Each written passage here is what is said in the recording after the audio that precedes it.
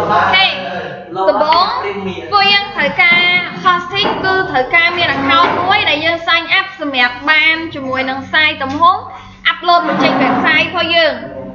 ចំពោះ website មានច្រើនមានអាខ្លះឆែកលុយមានអាខ្លះ free តែចំពោះ interface cPanel បែរថា interface layout ដែលយើងប្រើហ្នឹងគឺវាទម្រង់ខុសៗគ្នាអញ្ចឹង03ដងហ្នឹងគឺវាមានសម្រាប់យើងចង់ sign up free ក៏បាន យើងសងចង់ sign up អាជាមួយនឹងការអស់លុយក៏បានដែរគ្រាន់ថា free គឺ bandwidth វាទូចអញ្ចឹងស្អីគេ bandwidth bandwidth ហ្នឹងគឺចង់និយាយថាទោះអ៊ីនធឺណិតយើងដើរលឿនក៏ដោយប៉ុន្តែ speed ចូលទៅក្នុង server របស់វាសម្រាប់ browse website យើងហ្នឹងគឺ slow bandwidth ចង់និយាយថាល្បឿនពីការចូលទៅមើលនៅក្នុង website របស់យើងអូខេអញ្ចឹងឥឡូវខ្ញុំសូមនិយាយពី03ដងវា free សម្រាប់យើងនៅការ hosting ហើយបើយើងមាន account សម្រាប់ hosting ខ្លួនឯងក៏អាចយកប្រើបានដូចគ្នារបៀបនៃការ config ស្តៀងគ្នាឯង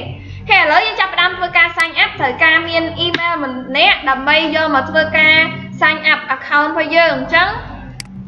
បាញ់ឈ្មោះអីគេមិន click copy យកមកប្រើអត់យក password ទេអើយ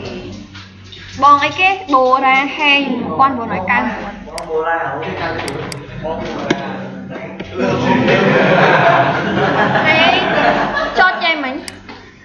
លើបូរ៉ាហេ1991អាជីពណាមិនហើយពួកសាវ៉ាពេកមួយស្រាសា password password no password password password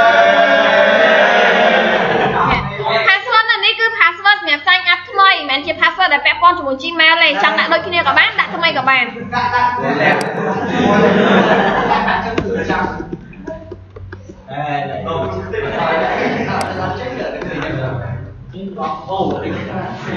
ហេអញ្ចឹងយើង sign up ឆ្លើយតែពូតែមើលដៃតែមានទេអីទៀត IT បន្ទាប់ពីមានការ sign up របស់យើងហើយ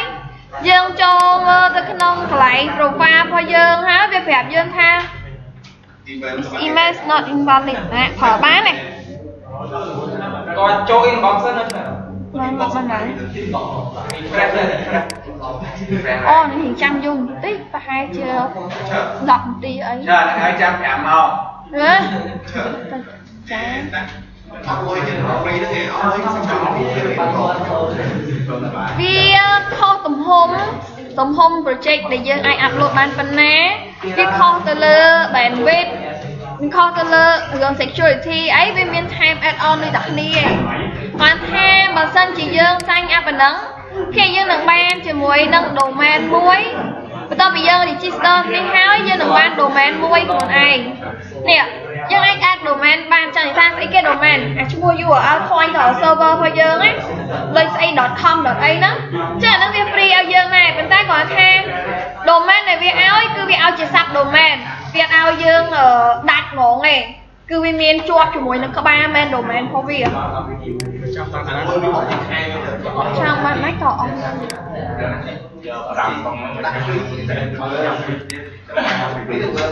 ក្នុងពេលដែលយើងរងចាំនៅការ confirm email ដែលវាបោះចូល message គឺយើងចាប់ផ្ដើមធ្វើការត្រៀមទិន្នន័យរបស់យើងគេដើម្បី hosting យើងត្រូវដឹងថា website WordPress មួយគឺមិនមែនចាំបាច់ត្រូវ មិនមែនត្រូវការតែមួយគឺយើងគ្រាន់តែ upload ទៅលើអា project ដែលយើង build នៅក្នុងនោះហើយហើយទេព្រោះដូចយើងត្រូវការទី1គឺយើងត្រូវការបើក service web server ដើម្បីអី service web អឺ service database ដែរអញ្ចឹងដូចគ្នា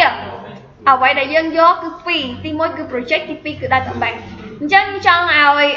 គេយើង upload SP 9 ចូលតើថាខ្ញុំមាន project ច្រើនហើយខ្ញុំអត់ចាំថាតើ project ណាប្រើ database មួយណា ចឹងយើងចូលទៅក្នុង project របស់យើងណាហើយយើងទៅមើលនៅក្នុង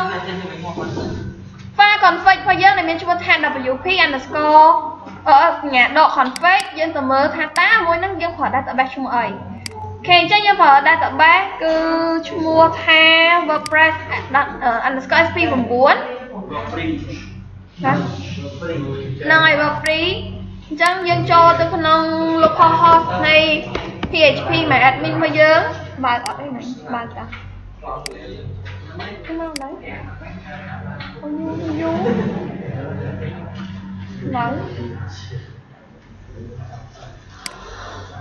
log in ចូលមកសិនមកយើងទៅរក database របស់យើងសិន verb 2មិញហ្នឹងនេះនេះចឹងយើងចុចលើ database ហ្នឹងហើយបន្ទាប់មកយើងត្រូវការ backup database ទុក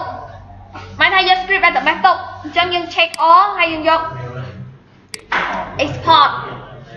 ចឹងនៅពេលដែលយើងយក export វាមានពីរមាន export ដែលយើងប្រើ default វាឬក៏យើងប្រើ customize ចឹងយើងក៏ដើម្បីយកជា default ទៅមើល folder ហើយទៅ check មើល script វាបន្តិច script ហ្នឹងគឺ extension វា .xql គឺជា script XUR statement ដើម្បីធ្វើការអឺ បង្កើត database អញ្ចឹងយើងមើល script របស់វាទៅវាមានជាមួយនឹង create អត់មានតែចាប់ផ្ដើមដំបូងគឺចាប់ផ្ដើម create ទៅដំបូងអញ្ចឹងវាអត់មាន script create database ទេណាអញ្ចឹងនេះមាន create ថាបឈ្មោះអីឈ្មោះអីនៅក្នុងក្នុងនឹងទាំងអស់ចឹងយើងទុក script ហ្នឹងដើម្បីយកទៅតម្លាក់នៅក្នុង hosting របស់យើងព្រោះការ hosting ក្នុងនេះក្នុងមួយនេះយើងត្រូវការ upload ទាំង project យើង upload ទាំង database អូខេអញ្ចឹងវាមកហើយនេះ03ដង load មកហើយ អូខេអញ្ចឹងដើម្បី confirm យើងចុចទៅលើ link របស់វា OK ដើម្បី verify អូខេ process verify ចឹងឥឡូវយើងបាន account verify ហើយ complete ហើយយើងចាប់ផ្ដើមចូលធ្វើការមើល interface panel របស់វាចូលទៅក្នុង my website ដើម្បីមើលថាតើយើងមាន website ណាគេអត់តមានអីទាំងអស់ website ទាំងអស់នេះគឺយើងអាចថតសាកបានប៉ុន្តែអស់លុយ គេឥឡូវយើងយក free វិញយើងចុចថត03ដង free អញ្ចឹងអឺការប្រើយើងគ្រាន់តែ confirm វាតិចមក learn អូខេ learn ហើយដាក់ website ឈ្មោះអី KSP 9អូខេឬក៏99អញ្ចឹងកុំឲ្យជន់ហើយ password សម្រាប់ website របស់យើងយើងដាក់ password មួយមកចាំខ្លួនឯងតែជូត ដល់មកដែរអូនណាមកឆោនិយាយដល់ទៅណាយ៉ាថាវាមាត់យើងសំដួលគ្នាហើយអត់ដ ល់ដល់កុំមាត់តើមកយើងនឹងបាន sub domain មួយ domain មានពីរប្រភេទមាន main domain និង sub domain មិនខ្ញុំហៅ sub domain ដោយសារតែវាជាប់ជាមួយនឹងក្បាល domain www.webhostapp.com យើងអាចបាន sp99.com ទេបានទៅទេគឺយើងជាប់ជាមួយនឹងកណ្ដាលរបស់វាគឺ domain domain អញ្ចឹងយើងចូលទៅក្នុងហ្នឹងមកដែលយើងនឹងឃើញជាមួយនឹង interface មួយវាប្រាប់ថា website ហ្នឹងគឺអត់ទាន់មាន web អីហោះចូលទេហើយយើងត្រូវការ upload វា create file ចូលទៅក្នុង public.html ដែល file ហ្នឹងអាចជា index.php ឬក៏ index.html ចឹងតែយើងអាច upload ជា file HTML ក៏បានយើងអាច upload ជា file project PHP របស់យើងក៏បានអូខេអញ្ចឹងឥឡូវយើង create ទៅបាន blank មួយទេអត់ទាន់បានតម្លាក់ project ចូលទេបន្តមកទៀតយើងចាប់ផ្ដើមធ្វើការតម្លាក់ project ដែលការ តម្លាក់ project របស់យើងគឺយើងចូលទៅក្នុង file manager អូភ្លេចប្រាប់មិញអឺនៅហ្នឹងគឺវាមានឲ្យយើង build WordPress នៅលើហ្នឹងផ្ទាល់ហ្មងក៏បានដែរហមายថាធ្វើ project WordPress ថ្មី build នៅលើហ្នឹងហ្មងឬមួយក៏យើងមាន file អីផ្សេងយើងអាច upload បានគេឥឡូវយើងចាប់ផ្ដើមធ្វើការ upload វិញយើងចូលទៅក្នុង file manager ហើយយើងទៅ upload file របស់យើងអញ្ចឹងមិញវាប្រាប់យើងថាយើងទៅ upload file នៅក្នុង public HTML អូ ខេអញ្ចឹងយើងត្រូវការចូលទៅក្នុង folder public.html របស់វានេះអញ្ចឹងអាយើងឃើញមិញហ្នឹងគឺ file មួយនេះអឺឥឡូវយើងចាប់ផ្ដើមធ្វើការ upload នៅពេលដែលយើងមានទៅលើ upload វាប្រាប់ថា upload file តែត្រូវចាំថា project របស់យើងនេះមិនមែនមានតែ file ទេគឺមានទាំង folder ទៀតអញ្ចឹង upload folder វាអត់ចូលឲ្យទេបើយើង upload តាមហ្នឹងហ្មង file manager ចឹងដើម្បីអាចជាកុំឲ្យមានបញ្ហាគឺយើងទៅប្រើកម្មវិធីមួយទៀតជំនួយឲ្យ link ពី local យើងជាមួយនឹង server hosting គឺយើងប្រើតាមរយៈកម្មវិធី FileZilla មិនមានតែ FileZilla មួយមានកម្មវិធីច្រើនដូចជាដូចជា Smart Client មានអីផ្សេងផ្សេងគាត់ថានោះវាអត់ free អានេះវា free ហ្នឹងហើយអឺ file project របស់យើងគឺមានច្រើន file មិនឃើញមានតែប៉ុណ្្នឹងទេគឺនៅក្នុង folder ហើយមាន folder folder តទៀតប្រហែលជាមានដូចជា2000 file ជាង ចាអញ្ចឹងបើសិនជាយើង upload direct តដែលយើងអត់ save file អត់អីអញ្ចឹង upload ម្ដងមួយម្ដងមួយចំណាយពេលយូរដូចជា1ម៉ោងជាងអីបានអស់អញ្ចឹងដើម្បីកុំឲ្យមានបញ្ហាការ upload លឿនគឺយើង upload តែមួយ file ទេគឺមានតែ zip ត្រូវចាំថា file ដែលយើង upload គឺ file zip អត់ file RAR ទេព្រោះបើ file RAR គឺវាអត់មាននៅក្នុង0 3ដងវាអត់មាន function សម្រាប់ extract ជា file ពី ra ចេញទៅទេមានតែ zip ពេកអញ្ចឹងយើងត្រូវការ zip file វិញអូខេអញ្ចឹងខ្ញុំ zip file ឃើញយកជា file zip មកអូយចាប់ដើមវា zip file អញ្ចឹងយើងត្រូវការ upload តាមរយៈហ្នឹងគឺយើងអាច upload ជា file តែ upload file តាមហ្នឹងយូរ upload តាមនេះទៅលឿនហ្មង file ដែរប៉ុន្តែតាម file សាលាលឿនតែដំបូងយើងត្រូវការ connect រវាង local ជាមួយនឹង remote site របស់វាអញ្ចឹង remote site គឺសំដៅទៅលើ site server នេះគេលោកមុននេះស្របប្រាប់យើងហើយត្រូវទេ file សាលាគាត់ថាយើងដែរតន់ប្រើ ចឹងទីមួយគឺ host ចូលទៅមើលនៅក្នុងកន្លែងរបស់យើង file manager ហ្នឹងគឺមាននៅក្នុង general ចេះវាមានជាមួយនឹង host name ចេះយើងអាច copy host ជាមួយនឹង copy username ចូលមកខាងមកគេមាន host name មានជាមួយនឹង username របស់យើងដូចជា SP99 ហ្នឹងហើយហើយនឹង password ដែលយើងបាន create password website របស់យើងមិនមុនហ្នឹងគ្នាវាប្រាប់ថាជាមួយនឹង password ហ្នឹងគឺដូចជាមួយនឹង password របស់ website ដែលយើងដាក់ SP9 ហ្នឹងយើងដាក់ byte code password ហ្នឹង copy save អត់យក password ចាយើង copy អា save អត់យកអត់ចូលទៅទៅប៉ុណ្ណឹង2ឆ្នាំទៀតអត់ចូលបាយតាម password save បានយក website password ហើយចាប់ដើមធ្វើការ remote connection អញ្ចឹងការប្រើកម្មវិធី file សាលាគឺជាកម្មវិធីមួយដែលយើងត្រូវការអ៊ីនធឺណិតដើម្បី connect remote ទៅក្នុង file file server ណាអត់ដែរពីខ្ញុំបាយ password ខុស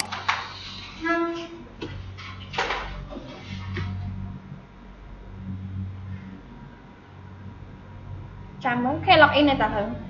នេះអញ្ចឹងគេថាបើយើង log in ហ្នឹង remote server ចូលហើយគឺឃើញ file public HTML អញ្ចឹងដាក់ដាក់បើ click ចូលទៅក្នុង file public HTML របស់យើងបន្តមកទៀតចោលក្រុម file អាខាងអានេះបែរថាយើងចូលក្នុង folder សិនបន្ទាប់ពីចូលហើយក្នុង file ហ្នឹងមានអីគេខ្លះ release down នៅនេះកាលឡើយយើងរងចាំចាំមើលថាតើយើងមាន file zip របស់យើងហ្នឹងមាននៅអញ្ចឹងយើងដាក់នៅក្នុងទីតាំង vam server w 3ដង ចុចទៅលើ W3 ដងហ្នឹងយើងមើលនៅក្នុងហ្នឹងមើលមាន SP5 អូខេ SP9 មានអីអញ្ចឹងយើងឲ្យស្ដាប់លើហ្នឹងយកពាក្យថា upload upload តាមហ្នឹងលឿនព្រោះដោយសារតាយើងមានតែមួយ file យើងស៊ីចឹងចឹងយើងមើលនៅកន្លែង transaction របស់វានេះ process process file វាកំពុង upload ហើយអូខេបន្ទាប់ពីយើង upload ដល់នឹងចប់ករណីបើសិនជាមាន file ច្រើនហើយ file ណា file យើងឃើញ list នៅនេះគឺចំនួន file ដែល error ហើយកន្លែងនេះគឺ success ឥឡូវយើង upload ករណីបើសិនជា error យើងអាច remove វា start upload ឡើងវិញម្ដងទៀតនៅក្នុង tab error អាចឆេះអត់អាចអីគេ error អាចឆេះ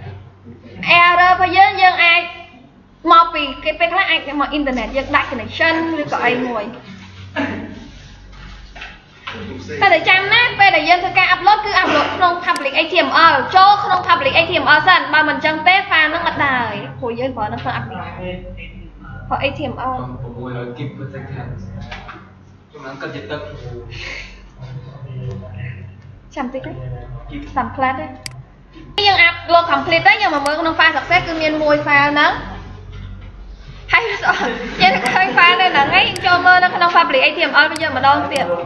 វាក៏ slow motion ល្អហ្មង slow motion បាញ់ទៅទុកទឹកមើលជាងគេនេះ file ទីរបស់យើងចេញ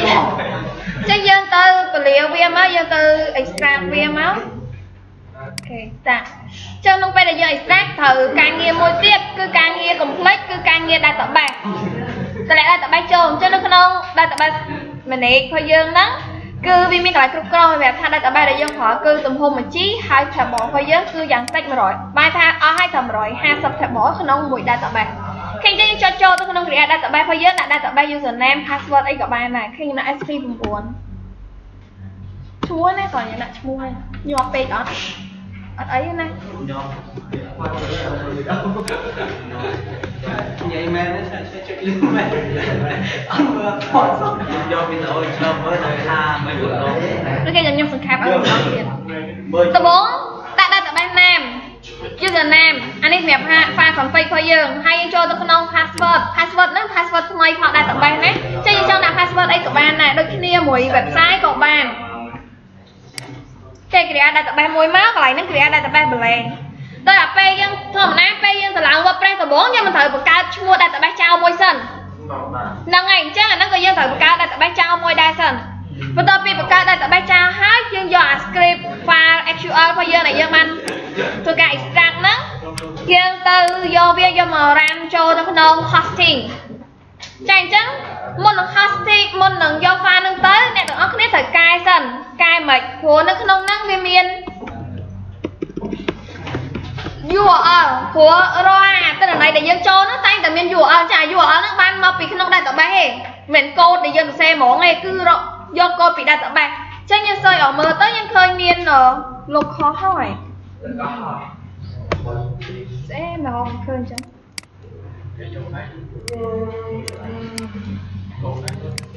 ATTP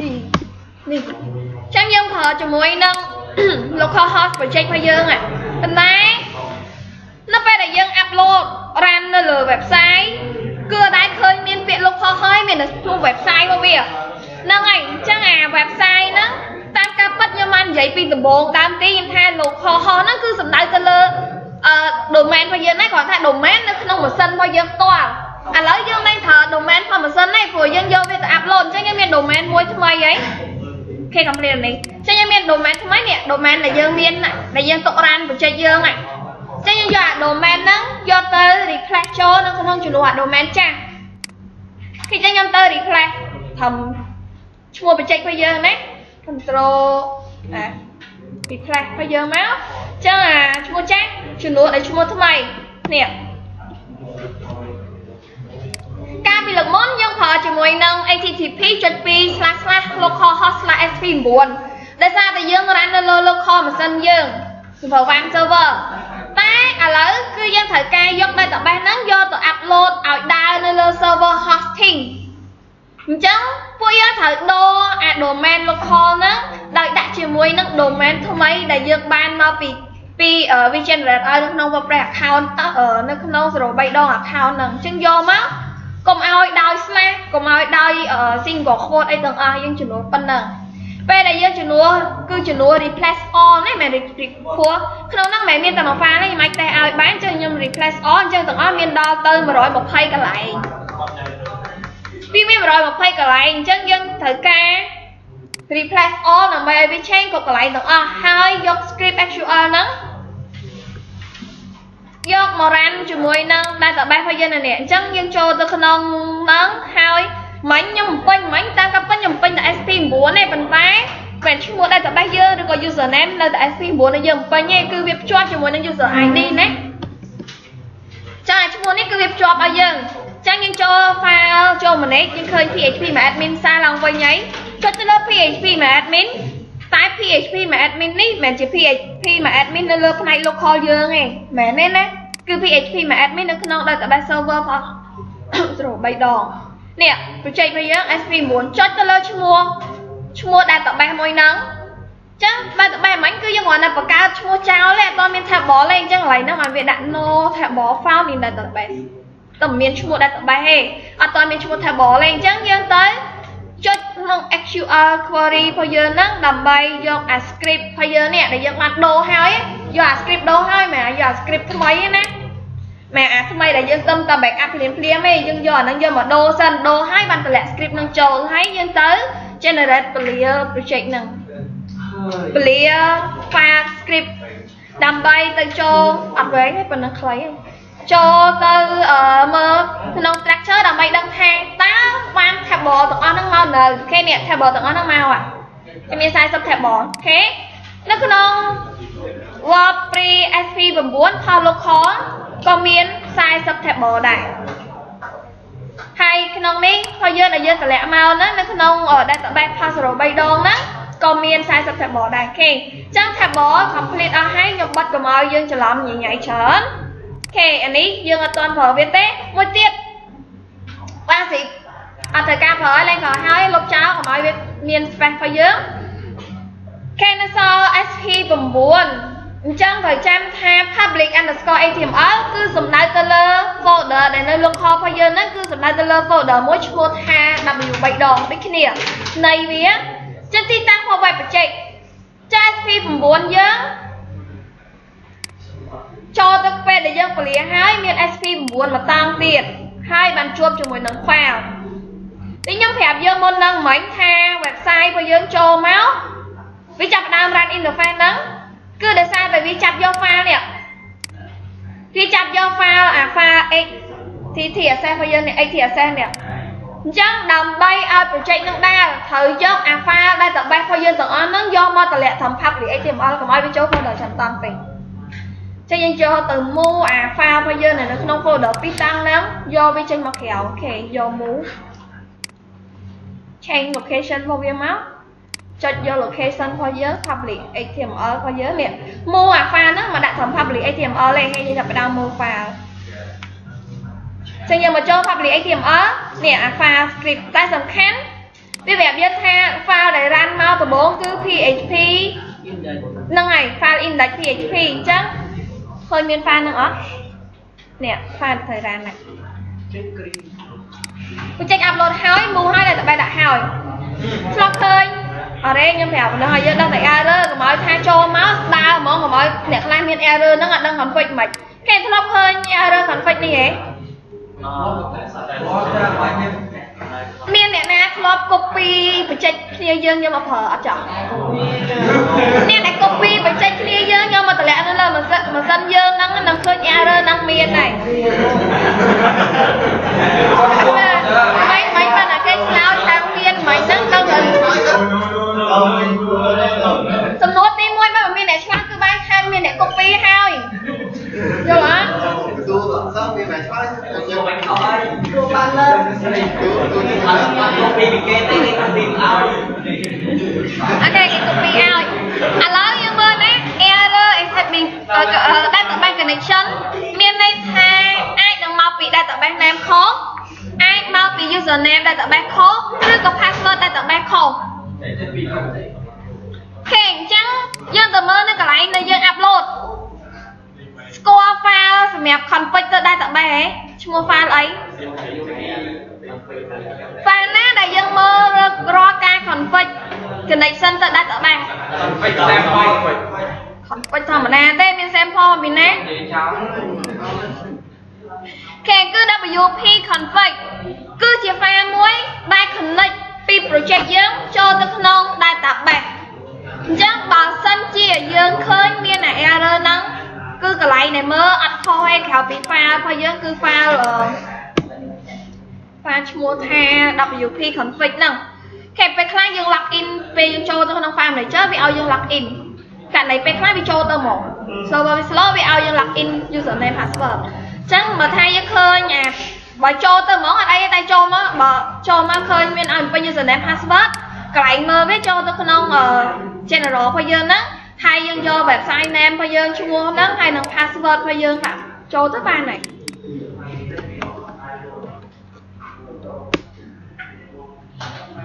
នេះចូលវិញហើយអញ្ចឹងនិយាយមកវិញគឺ file ដែលយើងត្រូវទៅមើលអាពេលដែលឃើញ error database connection ហ្នឹងគឺនៅក្នុង wp.config ហើយយើងទៅ edit file ហ្នឹងមក script php នេះអញ្ចឹងមើលកន្លែងរបស់យើង connection របស់វាគឺ connect ទៅលើ database ឈ្មោះថា vprep WordPress 29 username យើង root password អត់មានប៉ុន្តែអាពេលដែលខ្ញុំប្រាប់យើងមិញហ្នឹង database យើងដូរឈ្មោះអីនេះខ្ញុំមើលនៅក្នុង database របស់យើងនេះវាបានដូរឈ្មោះហើយ username ក៏ដូរដែរហើយ password ក៏ដូរដែរយើង create មិញថ្មីហ៎អញ្ចឹងយកអាឈ្មោះហ្នឹងគេ db name យកមកតម្លាក់នៅក្នុងកន្លែង db name របស់យើងនេះ K1 ហើយឈ្មោះ username ខ្លាយបើយើងដាក់ឈ្មោះផ្សេងគ្នាមានដាក់ username យើងដាក់នៅក្នុង username របស់យើងព្រោះយើងលេងប្រើ user root ដែរហើយ password របស់យើងគេអញ្ចឹង password របស់យើងដែលយើងដាក់ create database ហ្នឹងយើងដាក់ឈ្មោះវាចូលដែរ save config របស់វាហើយចាំណាអាចនឹង error connection database ហ្នឹងគឺមកពី username password និង database name ឬក៏អាចនឹងយូរយូរមានម្ដងគឺ table prefix ស្គាល់ table prefix ទេ Yes តែយើងតែងដាក់នៅក្នុងអា table របស់យើងនេះពេលយើងចូលទៅក្នុង PHP មក admin ឡើង database របស់យើងម្ដងយើងដាក់ក្បាលនាំមុខដល់ table ទាំងអស់ចាំបានទេចេះថាទៅ ចូលបងថាអត់ចូលមើលមុខចាំនេះថាបើ prefix ចេះចឹងថាបើ prefix ហ្នឹងពេលខ្លះយើងដាក់អក្សរធំអញ្ចឹងអក្សរធំអក្សរតូចក៏វាប្រកាន់ដែរចឹងកុំឲ្យញ៉ៃញ៉ៃដាក់សទួយទៅទាំងអស់ហើយឥឡូវយើងកែត្រូវអស់ហើយទាំង username ទាំង database ទាំង password គេយើង save close file ហ្នឹងមកដើរអត់ អត់តាមគាត់ច្រើនច្រើនធ្វើខុសអូដាក់គាត់ហេមែនដាក់ខាងទៅមកគាត់ទៅធ្វើសារទៀតមិនចាំមិនចាចូលសាក់តេសលេងហ៎ចាំមិនអាចមិនចាអញ្ចឹងករណីបើសិនជា WordPress ហ្នឹងយើងដូរហាងសម្រាប់យើងរៀងអាចដូរបានយើងដូរ online ហ្មងគឺយើង slash wp.admin យើងចូលទៅកែកូដវានៅក្នុង server hosting ហ្មងចាំពេលយើងវាយថែមតែ wp.admin វាឲ្យយើង login ហើយ login username អីគេអាការយើងធ្វើនៅក្នុង local ស្អីគេអញ្ចឹងអា hosting ពួកវាហ្នឹងក៏ហ្នឹងដែរ ពួកវាបញ្ចេញ11ចឹងចឹងវាអត់ពាក់ព័ន្ធជាមួយអាទៅលើសិនយើងទៀតលែងពាក់ព័ន្ធនៃពេលដែលយើងកែឡើងហ្នឹងគឺយើងកែសម្រាប់តែ hosting ទេដល់ទៅបែបទៅអីក៏ដោយ Yes ចឹងដល់ទៅបែបឈប់បែបមួយចាស់ទៅបែបទៅហើយហ៎បាយមួយចាស់ដែរណាតែតែពេលហ្នឹងចឹងដល់ទៅបែបបែបឈប់ចាស់ហើយអាដល់ view គ្នាមាននេះបាយចាស់តែតបេះឈ្មោះនេះខ្ញុំមិនដែរខ្ញុំមានដែរយើងចូលទៅកែកូដដល់ដែរតបេះណាដូចយើងចង់អាប់ដេតដល់ ទៅបែបទៅចង់អាប់ដេតដែរតបេះអាយុឆ្នាំហ្នឹងយើងចង់ចូលទៅតបេះនៅក្នុង hosting គេយើងចូល website 03ដងមកយើងឲ្យ login account យើងចូលមកយើងចុចទៅលើ tab manage database ហើយយើងមើលនេះ database របស់យើងហ่ะហើយយើងចូលទៅក្នុង PHP មក admin មកគឺសម្រាប់ចូលទៅក្នុងផ្នែក database នៅក្នុង local server ហើយនេះ គាត់ដល់យើងយកទៅក្នុង PHP អឺ my admin នៅក្នុង local អាហ្នឹងសម្រាប់ local យើងទេតែអានេះយើងចូលទៅក្នុង server ហើយដូចគ្នាកាលណាយើងភ្លេច password បែរចេញហ៎បាត់ទៀត FP 96មួយចាំមើលតែតែតាមតែក្នុងក្នុងទៅដល់តែបើយើងធ្វើអីថែមនៅក្នុងរក web post អត់ទេអត់ពាក់ព័ន្ធគ្នាទេពេលហ្នឹងគឺដាច់ទំនាក់ទំនងគ្នាហើយ បែកកូនចៅបែកគ្រួសារហើយអត់អា web ព្រែអា web ព្រែនេះមានបាយលេខកូដចាស់ webpostapp.com អា web ព្រែមានលេខកូដចាស់អាលេខកូដ log គេយើងភ្លេច password ភ្លេចអីចង់ចូលអីយើងចូលក្នុងនោះមកយើងកែមកដូចគ្នាអញ្ចឹងចូលទៅក្នុងអឺ W មានសួរដល់ទៅបែបអីអាតែតែមិនថ្មីតែតែ WP user អាលេខកូដចាស់នេះ WP user មកយើងណាហើយដូរ password ដូរអី ទ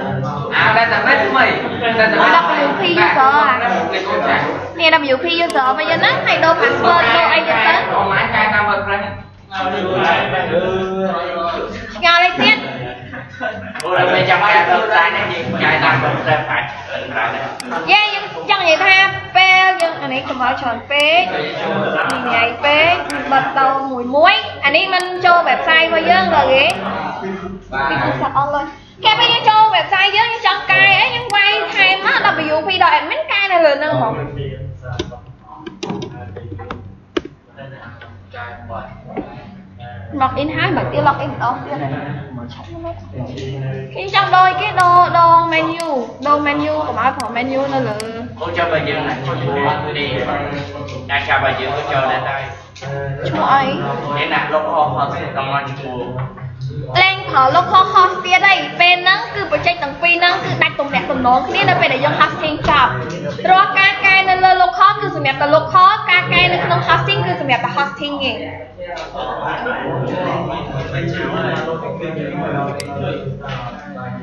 ចាំ lại nó cũng nó អត់ទេគ្រាន់នៅតែទៀតពេលយើងកាយក្នុងទៅពេលវាចាប់ចោលនៅក្នុងអា WW កែគេ យើងកាយអាបើបើប្រែបើយើងហ្នឹងកែ local ឬក៏ hosting អាហោស្ថិញហ្នឹងពេលយើងកែ hosting ហើយយើងចង់មក update local ដែរអញ្ចឹងមែនបាទឧទាហរណ៍ថាអញ្ចឹងយើងមាន hosting យើងយើងយកបច្ចេកហ្នឹងយកហោះហើយហើយហើយបន្ទាប់មកយើងបានកែនៅលើ hosting យើងចង់ឲ្យ local យើង update ដែរគឺអត់មានទេគឺតើតែយើង download បច្ចេកពី hosting ហ្នឹងយកទៅផាក់ចូល local យើងវិញ ព្រោះពេលហ្នឹងពីបច្ចេកហ្នឹងគឺដាច់ចេញពីគ្នាបាត់ហើយលែងមាន connection ហើយចូលបញ្ចប់អត់ទៅពីលោកផងក៏អត់ទៅរួចដែរវាដាច់ file គឺដាច់ដាច់ទាំង file ដាច់ទាំង database អត់នៅមួយគ្នាទេ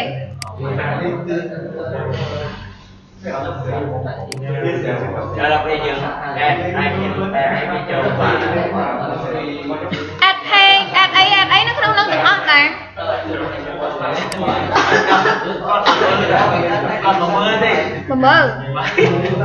à đây à hùng kia miền em kia em bị đâu đây dân đây cho nó và mình អូចាយ៉ាងណាចាធម្មតាពេលយើងអាប់ឡូត project យើងអត់ពេលពេលយើង add រូបភាព add អីចូលក្នុងអឺ project យើងណាចឹងវានៅក្នុង folder WP content ចឹងវាមានដូចជា upload ក្នុងនោះវាមានអីគេខ្លះមានរូបភាពមានអីទាំងអស់ហ្នឹងណាចាអារូបភាពទាំងអស់ហ្នឹងពេលដែលយើងអាអាប់ឡូតតាមរយៈ Fazilla ហ្នឹងក៏អាប់ឡូតដូចគ្នាដែរនេះយើងអាចចូលមើលទៅក្នុងអឺច្រឡំលុកដៃចោលដៃលុកបាត់នេះគ្នាតែចូលទៅក្នុងអឺស្រួល3ដងរបស់យើងកន្លែង Family Lecture ទៅយើងឃើញរូបភាពដូចគ្នាអានេះខ្ញុំនិយាយផ្នែកនៃងานរបស់យើងហត់ណា នេះរូបភាពរបស់យើងនេះនិយាយ local ណាអូខេអញ្ចឹងយើងនិយាយយក local ដល់ពេលយើងចូលមើលនៅក្នុងអា0 3ដងដែលយើង account យើងដែលយើង upload មុនហ្នឹងនៅក្នុង File Manager ចូលទៅក្នុង folder ឈ្មោះរបស់យើងមកតាម directory ទីតាំង location របស់វា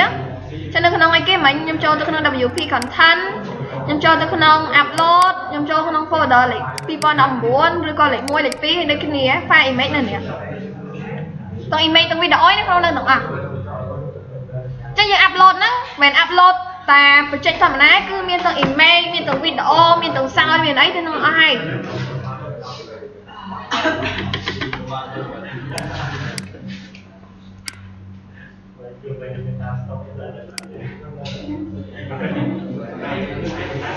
កំពុងតែស្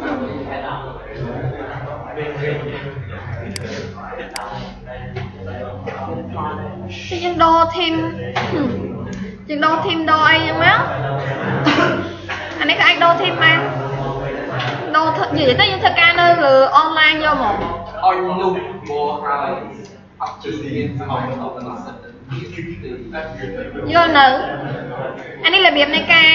upload project ចូលអញ្ចឹងមិនមែនថាខ្ញុំបង្ហាញតែរបៀបនៅក្នុង website 03ដងហើយដល់ពេលយើងមានយើងមាន account នៅក្នុងអីផ្សេងយើងអត់ចេះធ្វើគឺ និយាយសរុបមកវិញដើម្បីឲ្យ project website របស់យើងនឹងដើរគឺអ្នកទាំងអស់គ្នាត្រូវការ upload project របស់យើងដែលយើងបាន deal នៅក្នុង W3 ដងហ្នឹងគេយើង upload អាអា file របស់យើងហ្នឹងឬក៏យើង save file ទៅដើម្បី upload លឿន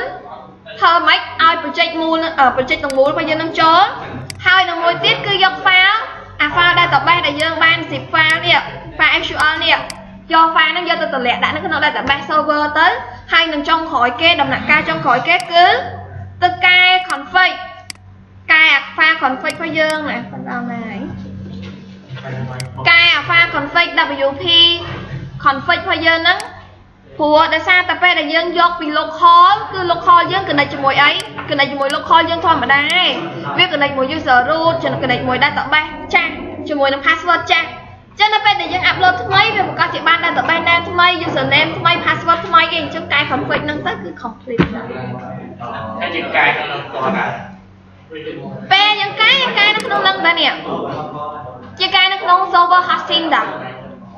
ឬក៏យើងចង់កែ local ឲ្យហើយចាំ upload ក៏បានដែរធ្វើមិនក៏បានដែរងាយយើងងាយយកខ្លួនឯងគាត់ណាគោលបំណងគឺកែ config ឲ្យដើរមួយគ្នាកុំឲ្យ error connection ចឹងអ្នកដែល copy project ឧទាហរណ៍ថាអានេះគឺជាការបង្ហាញនៃការ copy project យកទៅ hosting ចឹងចំពោះអ្នកដែល copy project ពីម៉ាស៊ីនមួយទៅដាក់នៅលើម៉ាស៊ីនមួយគឺរបៀបស្ាយធ្វើតែមួយឯងឃើញម៉េចយក file project តម្លាក់នៅលើទីតាំង project របស់គេ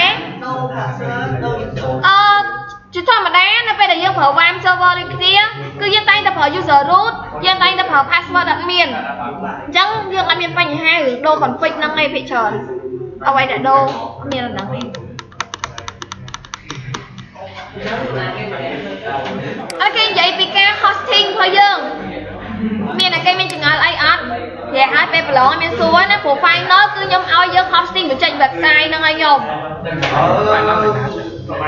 ហើយ website ការងារពាក្យអីធ្វើអីខ្ញុំ set ឲ្យយើងតាមក្រោយឯងគ្រាន់តែឲ្យយើងយល់ពីរបៀបនៃការ hosting អត់មានសួរសំណួរអីទេវីដេអូហ្នឹងមាន detail អស់ហើយគឺយើងអត់ឆ្ងល់ខ្លួនឯងទេអញ្ចឹងអានេះគឺជាមួយនឹងការ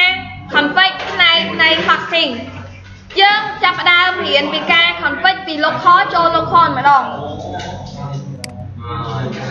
តែអញ្ចឹង hosting ខ្ញុំ complete បាត់ដំណឹងអូ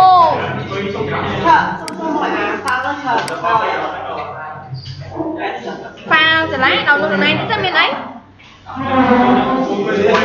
គេខ្ញុំប្រាប់ website មួយ register free នំ តែ free នំខ្ញុំធ្លាប់ប្រាប់ឲ្យចូលទៅអត់ទេ freenom.com freenom.com website ហ្នឹងសម្រាប់ free domain រយៈពេល1ឆ្នាំបាទឥឡូវឆ្លាញ់ domain ឈ្មោះអី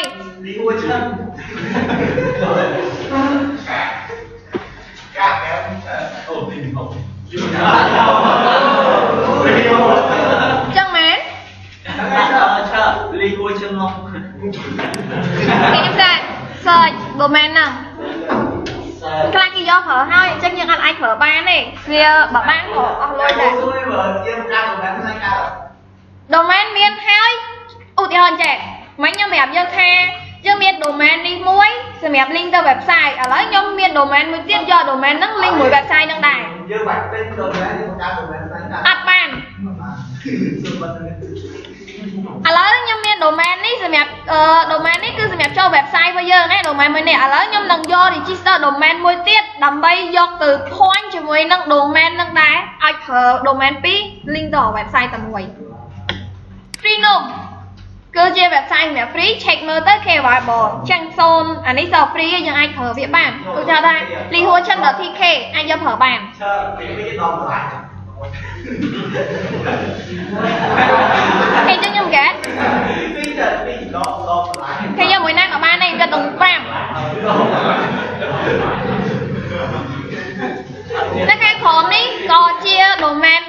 ងអាចប្រើបានដូចគ្នាគឺឧទាហរណ៍ថាយើងយក .com តែគ្រាន់ថាចំណាយលុយរបស់យើងអានេះនេះមួយឆ្នាំមួយឆ្នាំមួយឆ្នាំ8រៀលអានេះយើងនិយាយតែ domain ទេណាយើងមិនមែននិយាយ hosting ទេណា អា hosting គឺយើងយកបច្ចេកតម្លាក់ផ្សេងអានេះគ្រាន់តែជាឈ្មោះដើម្បី link ទៅរក domain របស់យើងអត់ទៅរក server របស់យើងផ្សេងអានេះគ្រាន់តែជា domain ទេតម្លៃវាអឺ ML ប្រើអត់បានទេកាលឡើងខ្ញុំ register TK ណាគេ check out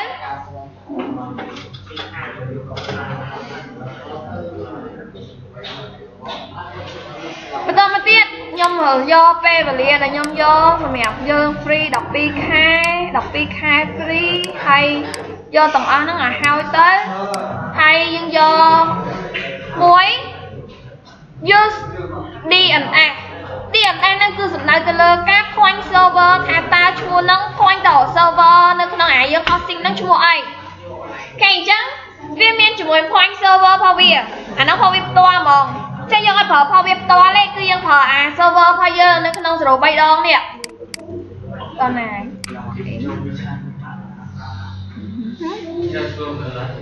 អត់ទេមើលវីដេអូឡើងវិញ4 10ដងទៅលេងអីហើយ set web address អូខេកន្លែងនេះគឺយើងអាច add domain ដែលយើងមានចូលទៅក្នុងហ្នឹងសំខាន់ចូលហ្នឹងដើម្បីយកជាអឺ DNS វាឯងអញ្ចឹងនេះខ្ញុំ copy DNS របស់វា DNS provider របស់វាហ្នឹងខ្ញុំ copy DNS ហ្នឹងយកមកផាននៅលើ DNS server របស់យើងនេះអញ្ចឹងមាន king use យក DNS name server របស់វាផាវាចូលមកពីក្រោយណាមានអីខុសហើយក៏ខុសតែលេខ1លេខ2បើយើងស្គាល់ IP address ផងអា server 03ដងហ្នឹងក៏បានដែរយើងដាក់ IP មកតែវា provide DNS អូខេហើយយើង config ទៅទាំងអស់មកដាក់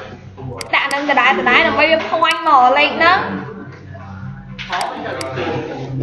mình lên bị hàng thôi មកមិនបានដាក់លេខ2ខេមកមើលខ្លួនឯងនេះលេខ2តែខ្ញុំចាំនេះខ្ញុំប្រឡងចាំហើយ là mai đồ mẹ ចុចយក set web address មកហើយបន្ទាប់មកយើងចុចកន្លែង example ផុស hack domain ហ្នឹងមកបានហើយយើងយកឈ្មោះខ្លីយើងអត់ចង់បាន03ដង .com ហ្នឹងទេជា ងយកឈ្មោះខ្លី hack កុំឲ្យលើ space លើ space ភីងអត់ចូលទេខ្ញុំយកឈ្មោះហ្នឹងដើម្បី point ទៅទាំងអស់អញ្ចឹងយើងអាចប្រើ domain ច្រើនញ៉ាំសំតលេខ1ដែរខំមកលេខ2ហើយណាគេយើង continue វាដើម្បីធ្វើការ confirm verify បន្ទាប់មកវាឲ្យយើងបំពេញ email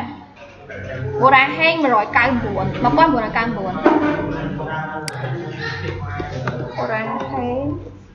1999ហើ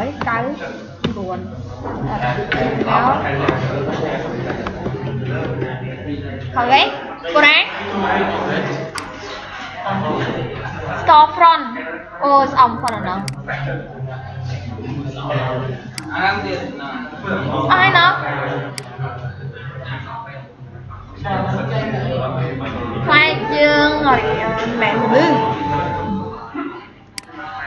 អស់ហើយណោះខ្លាចយើងរៀនមែនលឺ Can you free nôm send មកឲ្យទៅ verify mail វិញតិចមក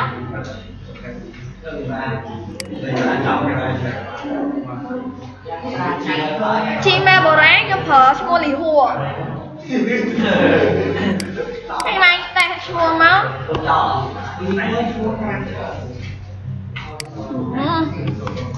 គេមិនលីហួរបាច់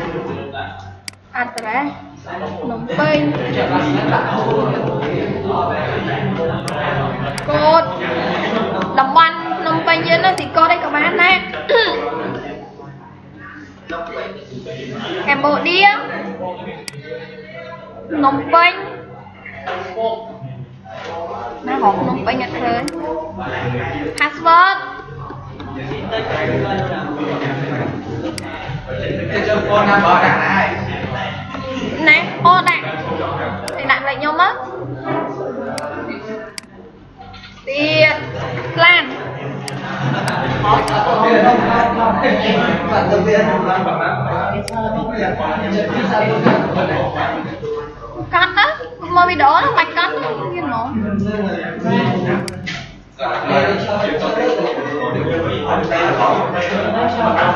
្នឹងបាច់កាត់ទៅមានហ្មងមកបាត់ឯនេះហេ complete ចេញយើងទៅមើល my domain check មើលលើ my domain របស់យើងតើណាហើយ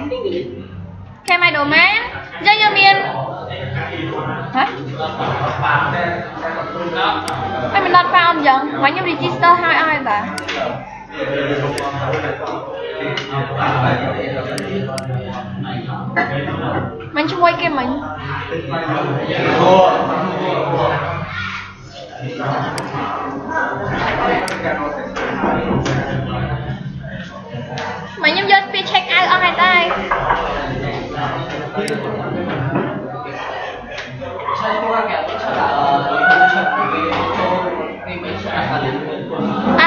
đây còn ở trên description bao nhiêu này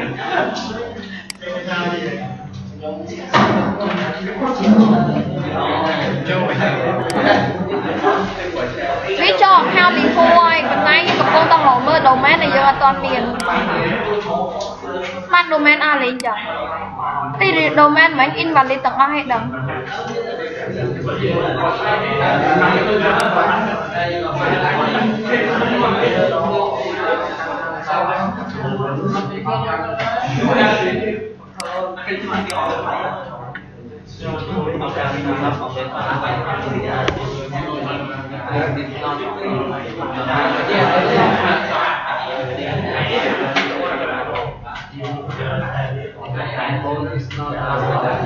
ព្រីអា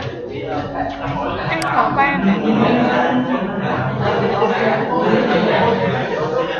ខ